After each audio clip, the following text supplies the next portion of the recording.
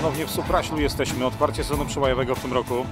E, Pogoda oczywiście kapitalna, dopisała. E, Również cieszy bardzo to, że jednak tutaj do Supraśla dotarły kluby z bardzo odległych zakątków kraju, więc to cieszy, że Supraś w jakiś sposób delikatnie podkreśla to, że ta organizacja jest tego wyścigu świetna i jestem przekonany, że w kolejnych latach na mapie oczywiście właśnie przełajowej Polski będzie również Supraśl.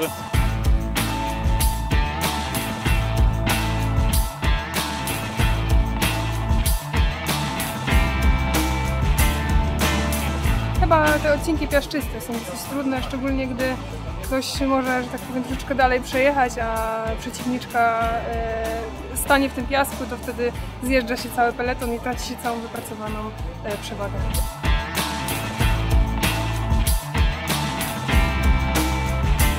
Jest to mój pierwszy wyścig przełajowy w tym sezonie, e, także myślę, że jeszcze trochę brakuje mi e, tak zwanego przetarcia.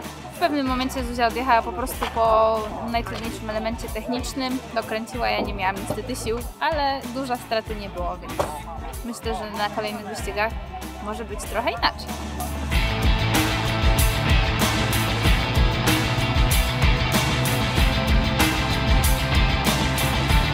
Trasa ciekawa, mały podjeździk i dużo tych takich elementów technicznych właśnie z piachem między innymi, które naprawdę sprawiały, że, że, że było ciężko.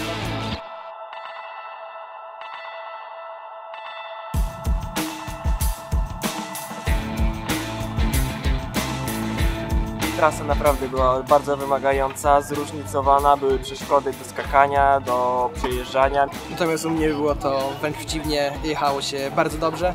E, trasa nie sprawiała żadnych problemów. Były gdzie niegdzie niedociągnięcia z mojej strony, gdzie mogłem pojechać szybciej, ale udało się przejechać na wysokim trzecim miejscu. Podlasie jest y, terenem wspaniałych puszcz. Są wytyczone przez lasy ścieżki rowerowe. No, jest to y, najzdrowsza forma y, aktywności ruchowej. Rower w terenie leśnym.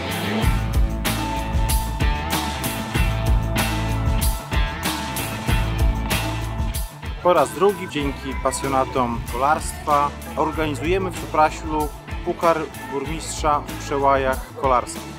Bardzo się cieszę, że są tutaj czołowi zawodnicy z naszego kraju, bardzo duża reprezentacja województwa podlaskiego, jest moc, jest nadzieja, że ta impreza będzie się dalej rozwijała. Dzięki wszystkim, którzy uczestniczyli w tych zawodach.